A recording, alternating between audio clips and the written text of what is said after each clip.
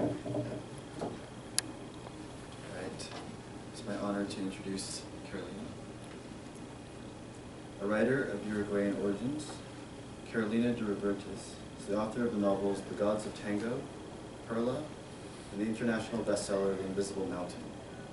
Her books have been translated into 17 languages and have been named Best Books of the Year in venues including the San Francisco Chronicle, O, the Oprah Magazine, Booklist, and NBC. She's the recipient of a Stonewall Book Award, Italy's Rhegium Julii Prize, and a 2012 Fellowship from the National Endowment for the Arts, among other honors. She is also an award-winning translator of Latin American literature and editor of the anthology Radical Hope, hmm. Letters of Love and Dissent in Dangerous Times, forthcoming from Vintage in May 2017. She teaches fiction and literary translation at San Francisco State University currently at work on her fourth novel. Please join me in welcoming Carolyn.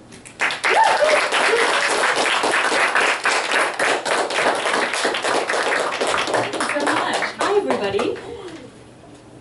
Can you hear me? Is that close enough? Do I need to be closer? Um, it's so great to see all of you. Thank you, Lara and Gavin, for the gracious organizing and hosting, and thank you for the awesome readings card. And what's your name? Evan, and thank you for that beautiful introduction. Tell me your name. Sayo. Fasayo. Yeah. Great to meet you. Um, thank you all. So um, I'm going to read the bulk, almost all of, but not all quite for reasons of time, but most of a short story um, tonight. And I thought I would do something a little bit raw and vulnerable and read something that is not yet published, that only two people have read. Um, my wife and the commissioning editor are the only people who've seen it so far, so it's still very, you know, that ah moment that I know I put students through, so it only seems fair. so, um, so just quick background. This actually story actually came as a commissioned thing. It was a prompt. Um, there is a place called CNET, which is like a technology website that has a new page called Technically Techno, Tech, Technologically Literate or Technically Literate, and um, and they commission short stories by established authors for this sort of sh- on themes of technology. So I was invited to write a story about. It can be anything. It just has to at least lightly touch on the theme of technology, which was interesting for me because I'm very low tech, as can be evidenced by my physical 20th century paper that I'm now going to read from. so this is called the Tango, Pol- the Tango Police. I'd always loved those old dancers, found them sweet, even inspiring, until the night they attacked us. For years, I'd lingered at the edge of the plaza on Saturday evenings to watch them, men and women in their 70s and 80s, so passionate about the tango that they faithfully gathered to dance to the silken sounds of the golden age, breathing to the pulse of tango, priests of movement under the darkening Montevideo sky. Somehow they flung aside arthritis, hip pain, joint pain, the small afflictions Uruguayan seniors never ceased to catalog to anyone who'd listen, and freed their limbs to dance. Or maybe I had it wrong. Maybe they didn't dance without pain, but through it, in spite of it, ignoring those signals of the body in favor of more pressing ones that make you supple, make you new, make life spark up in hooks and slides and turns. They were skilled as hell, and I envied them that, as well as their tie to the past, their memories of the times when those retro photographs of big bands and slicked back hair weren't retro at all. When you've been dancing the tango for 70 years, it belongs to you, down to the marrow of your bones. Or so I imagined. And I wanted that too one day, wanted that depth of connection with the tango that only came from decades of dancing, though at 27 I still had a long way to go. When I first got obsessed with dancing, I came often to the plaza just to study their moves and style. I was never the only one. Everybody knew about the viejitos of the plaza. Not tourists, though. They never came. These old people danced in a classic style, a kitchen style, without any of the flashy stage moves reserved for foreigners. I knew all about what foreigners wanted to see, as from early on I'd danced in plazas for loose change, both here in Uruguay and across the river in Buenos Aires, all dolled up in a tight dress and a gimmicky red flower in my hair. I could give them their fantasy. I could give them a show that satisfied. But these dancers, the originals, they owned the tango. They were the tango. Or so I thought. It was a beautiful April evening, warm and sultry. One of those fall days when it seemed that summer might stay around forever if you treated it right. Clara and I had just come from teaching a tango class, a nice supplement to my income as a preschool teacher. Not much, but enough for an occasional beer with friends. And we were in a good mood. It was six o'clock, the sky still shone blue, and downtown Montevideo hummed with people. We put off getting on the bus home, wanting to walk down Avenida 18 de Julio, the city's main artery, and enjoy a bit of bustle. That's when we heard the strains of an old tango gliding from the plaza. The viejitos, Carla said, Clara said. I haven't watched them in forever. Me neither. We should go see. This might be one of their last times. Don't say that. When the weather turned cold, the old people stopped coming. Their disappearance was an early sign of winter. With a sky like this, you never know anymore. Climate change. Climate change, I said mournfully with exaggerated pain, with the voice my aunts used to bemoan the weather. Climate change! she laughed. It's serious, you know. Of course it is! She laughed again. Clara had a laugh like copper pots colliding. She was my best friend and had been for eight years since we met at the university and she took me to my first tango lesson. And this last year, when I met Raquel and felt like I was shattering and soaring into flight at the same time, no one had stood by me more than Clara. Come on, she said, let's go to the plaza. Most of the couples were dancing, 20, maybe 25 of them, scattered across the cobblestones. At one edge sat the boombox from which the tangos played, at the other a microphone on a stand. All along the periphery, on benches and on the brick ledge, people sat and watched. Children snacked on sweet bizcochos, mothers clutched overflowing plastic bags, couples passed the mate gourd back and forth or simply leaned against each other, taking in the sight. In the last year, the city had come to feel claustrophobic, too small, and I'd started dreaming aloud to Raquel about escaping somewhere, to Buenos Aires, even to Spain, finding work, starting over, weaving a life for us in a far-flung place where nobody knew who we were or gave a shit and all was perfect, and in the drunken glow of her naked body it all seemed possible, though Raquel would only laugh and say, oh, Sonia, how you talk. And then I'd say, you know I can do more than talk. And that would be the end of words for a while. But moments like this one reconnected me to Montevideo, the only city in the world where this simple scene of pleasure could take place. This was home. The song ended, and another began, Mi Noche, Mi Noche Triste, as sung by the one and only Rosa Vidal, we both loved her. We couldn't resist her shining voice, and we started to sway against each other. Our hands slid together, pulsed gently in time with the song, and then Clara turned toward me and we slid into a dance. She led. The air hummed, we glided, our legs in time, my steps hers, her turns mine. The world condensed, our bodies aflow, the flow a song. No puedo cerrar la puerta, porque dejándola abierta me... The music stopped. We looked up, surprised. One of the old men had turned off the boombox and was now stomping toward the microphone, face red and clenched. What was wrong with him? He reached the microphone and turned to stare right at us. Go away, he said too loudly. Stop dancing like that or go away. The crowd had become quiet. Onlookers, viejitos, unclasping from their partners, passers-by on the sidewalk beyond the plaza. They all stared at us. We don't want any faggots or dykes here, the man went on. His finger was in the air now, pointing emphatically at the sky. No dykes, no faggots. This is not that sort of place. Such dancing is not, not acceptable. There was a smattering of applause. I couldn't move. The air itself seemed to cave in on me, collapsing unseen rubble over my head. Run. Far away. Run from these old people and their sudden menace. My arm was still around Clara's shoulder and I stepped away, but Clara's body followed me. She wouldn't let go. Her face had gone from stunned to something else, a mix of determination and fury. You can't do this, she called out. This is a public plaza. There was a slight rustle across the crowd, low mutters. Heads turned in anticipation toward the man. Get out of here, he shouted, before I call the police. Did I mention this is based on a true story? this is based on a, a true incident in one of Montevideo. How many eyes were on us now? Had the crowd thickened, come closer, threatened to block off all escape? I wasn't thinking right. I couldn't breathe. The bodies of these elders now pressed in on me, a danger, the anger, a palpable thing that threatened to suffocate. Clara, I muttered, Clara, I've got to get out of here. Clara looked torn, uncertain. Terrified of cutting through the crowd without her, I pulled her on her arm in what I hoped was a forceful gesture. Finally, she relented, though as we cut through the crowd, arm in arm, she turned back to call out, You're the unacceptable one, sir! Dyke, the man shouted, his voice ringing through the microphone across the plaza, following us as we fled. Her body tensed, and I knew she longed to turn back and confront him again, but she didn't. She held back. For me. Maria stared at her husband at the microphone. He stood, frozen, fingers still pointing ridiculously at the sky. It was embarrassing for him to show this side of himself in public, to come so close to losing control. She could understand his reasoning, though the two girls hadn't seemed bothersome to her. She just thought they were having fun and maybe waiting for their boyfriends. In the old days, it was just fine for two women to dance together when a man wasn't free. Not at a milonga, perhaps, but in a living room, sure. Arnoldo knew that.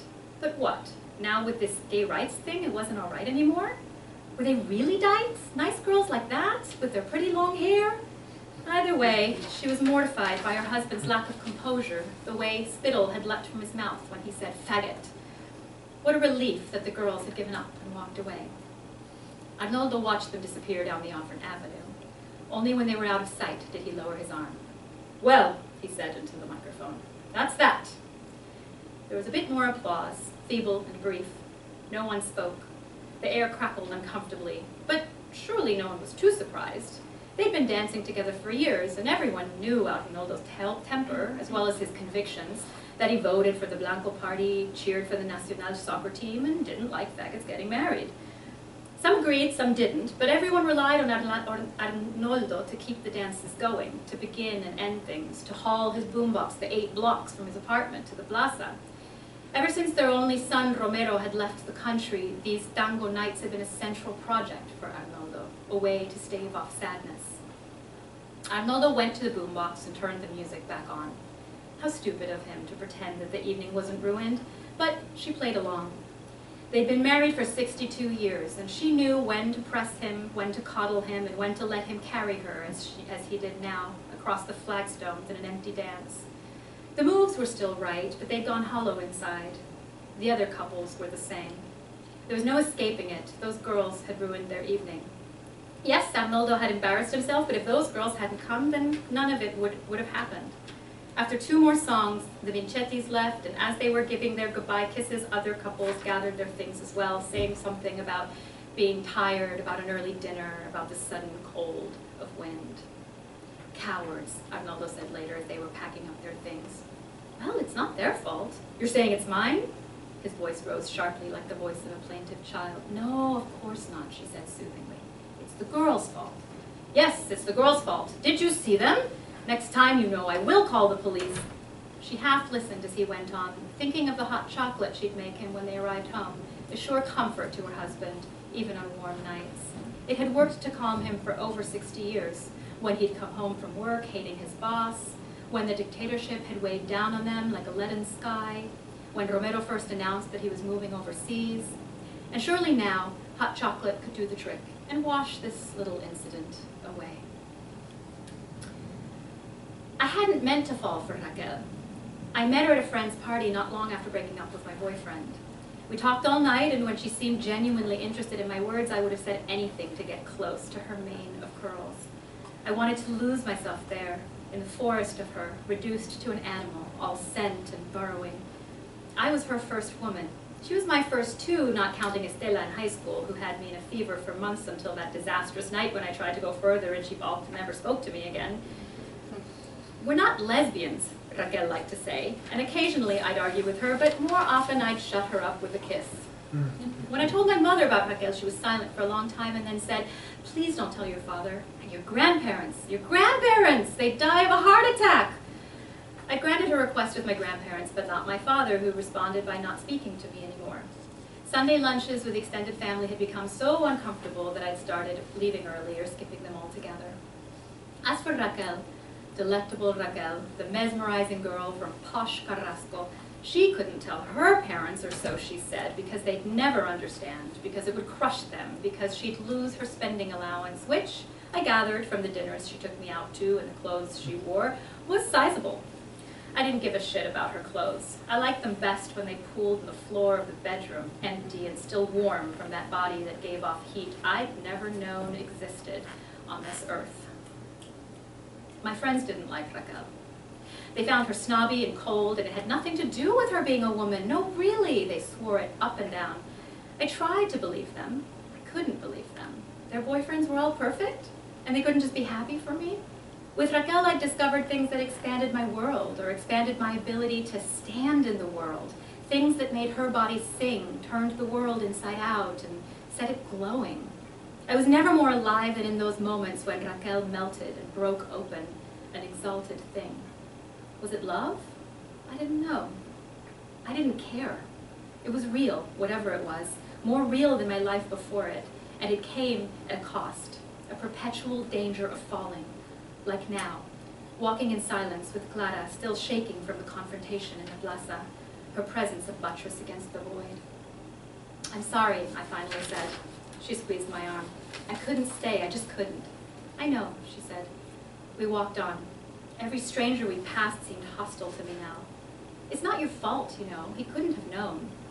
I don't know, I said, wondering whether he'd seen something on me, some translucent slime I hadn't danced with Clara like a lover, I didn't think of her that way. She'd made it clear early on, laughing, that she couldn't help her predilection for men. But still, could he have noticed something wrong with me? This isn't about anything you did, Clara went on. It's that awful man, his bigotry, as if he could declare who gets to dance the tango, as if it belonged to him, and not to everyone. She was getting herself all whipped up. Our bus arrived at its stop just as we were approaching, and we got on. The car was crowded and we stood together about midway. There was a festive mood among the riders on their way to their Saturday nights, buoyed by the cumbia pouring from the driver's radio. I thought we'd drop the subject, but Clara picked it up again. You know what? That was a violation of our rights. Sure, I said, with as much conviction as I could muster. We have to do something, protest this. I'm going to write a letter to City Hall. Maybe we should just forget it. How can you say that? This is 2015, for God's sake. Gay marriage is legal in this country. This isn't the 50s. This isn't Saudi Arabia or the United States. In our circle of friends, it was a source of pride that for all that the United States was supposed to be the most advanced, advanced country in the Americas, for all that it purported to be the example to everybody in the South, we, little Uruguay, had arrived first at advances like legalizing marijuana and gay marriage. Still, that didn't mean we had it all ironed out. Yes, in the past two years, couples had gone and get, gotten married, an amazing thing. But so many of us still lived in the closet. Law was one thing, culture was another. You can't legislate people's minds. There are always going to be jerks like that man, I said, thinking of my grandparents. But would they have yelled in public like that? I pushed the thought away. We should just ignore him. Are you serious? That was discrimination, she stared at me. Sonia, you don't have to live like that. I stared back at her. Somewhere behind me, a small child had started arguing with her mother, and their voices formed a light fugue against the other murmurs, the cumbia beat, the rumble of the bus. We're going to fight back, Clara said. How? On Facebook, on the streets, everywhere, on Twitter. The child's voice behind me rose to a wail. I just started using Facebook and I'd never been on Twitter, but Clara had a way with them, down to the breezy way the names rolled from her tongue. Facebook, Twitter, as if they were exotic plants she knew just how to water. Seriously? Seriously. Clara grinned at me, her anger seeding to a new enthusiasm. We're going to protest until that plaza belongs to everyone. Maria was washing dishes when she first heard the news on the radio. It was two days after the incident. Arnoldo was out at the corner butcher shop picking up supplies for dinner. She was listening to El Payaso y el Choclo's show, the host's voices so familiar now that they'd become a pleasant irritant, like a pebble you leave in your shoe. They were talking about some young people who'd filed a complaint at City Hall. Apparently, El Payaso crowed, audibly enjoying himself, according to these activists, Two young women were harassed in La Plaza del Entrevero last Saturday evening by a group of elderly tango dancers because the girls were dancing with each other. It seems that these tangueros called them dykes. Dykes! El Choclo exclaimed. That's not my word, mind you. Those seniors started it, the hooligans. So were they actually knights? That's what I want to know. Did they put on a good show or what? It must have gotten pretty wild because the dancing seniors threatened to call the police. Epa! Poor things. All that girl on girl could give them a heart attack. Well, it seems the girl on girl is just getting started. The activists are calling for a protest in the plaza and they've started a hashtag. Hashtag unacceptable tango and City Hall put out a Twitter this morning to say, put out a Twitter? It's called a tweet, you dumbass. All right, fine, look, a tweet. I don't know this stuff. I'm a radio guy. I've been for years. This radio Twitter is more than enough for me. But anyway, City Hall made a tweet today that said they are considering the activists' demands. So, what are their demands? That these senior hooligans either include same-sex couples or have their permit revoked. Seems like quite a punishment, doesn't it? For these poor old people just trying to enjoy their tango? You know, I've seen them out there on the plaza. They've been going for years. They dance beautifully. They keep tradition alive. They do. There's nothing like the tango. So who would have guessed that they'd turn out to be a marauding gang roaming our streets, more dangerous than the crackheads on the rise in our city? Why isn't City Hall doing Twitters about that? Maria turned off the radio and in one quick motion picked it up and threw it as hard as she could, away, away from her. It banged against the wall and the floor then went silent. Sunlight slashed in through the window and coated it with gold. The room closed in on her. Crackheads, gang, senior hooligans. She didn't know what a hashtag was, this thing those girls had started, how many computers it went to, how it traveled, its shape or purpose, and this only made it more threatening like an eel under the surface of the sea.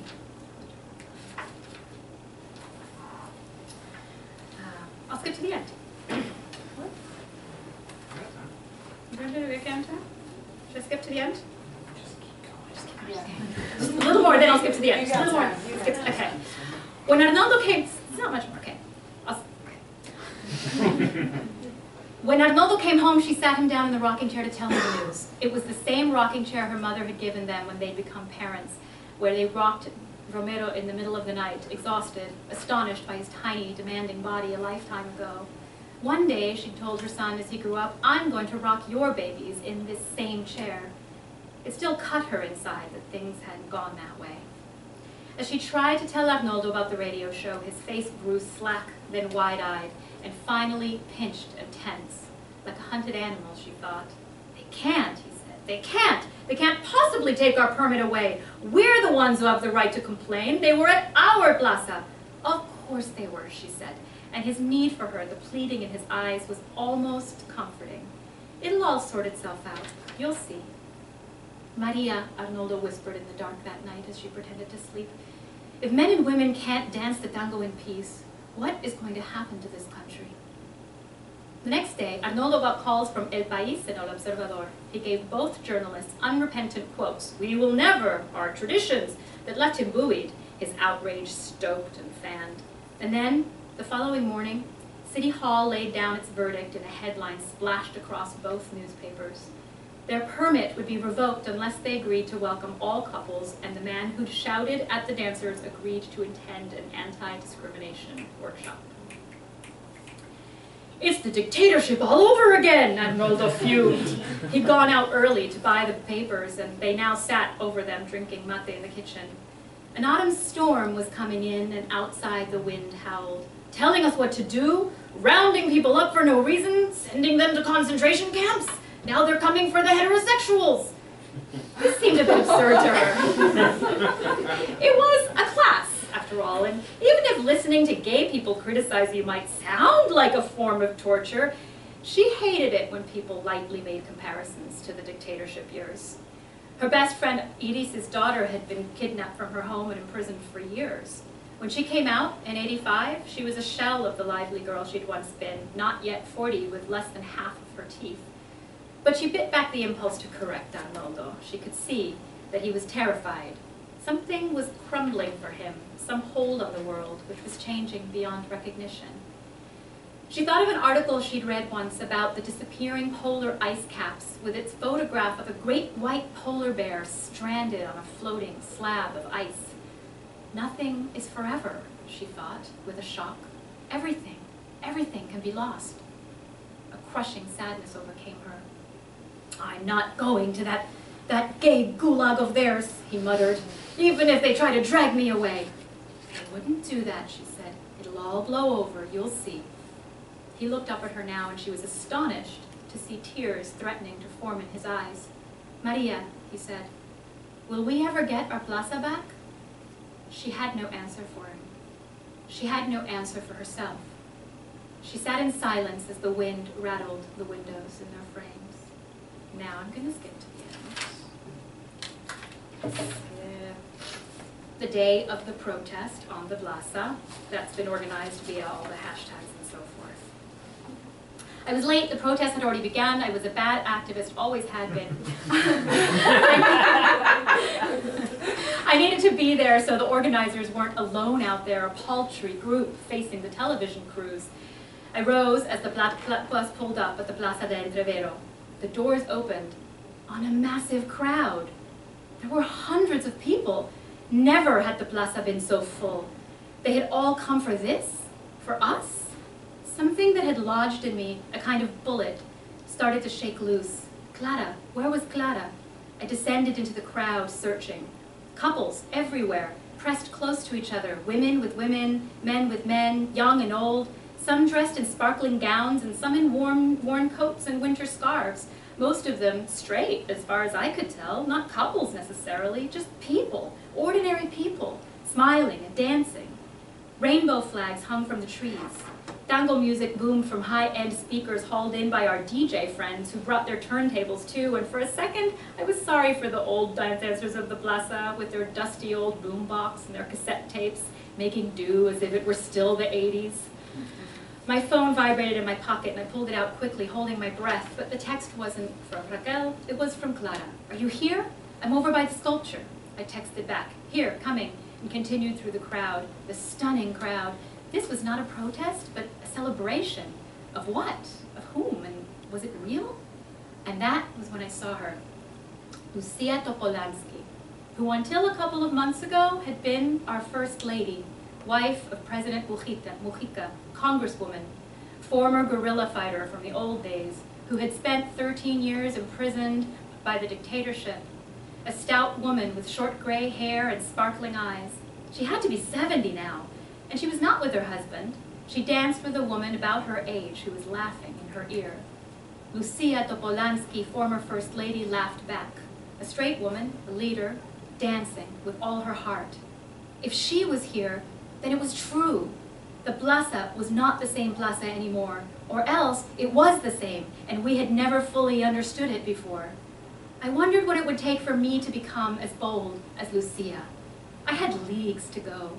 I longed to ask her. I longed to go up to her and bow like the gentlemen in old-style films. May I have this dance? But I was much too shy. Instead, I stood in silence, drinking in the sight of her as she danced, speaking volumes with her body, gracing the plaza, baptizing the flagstones with each step. Thank you so much.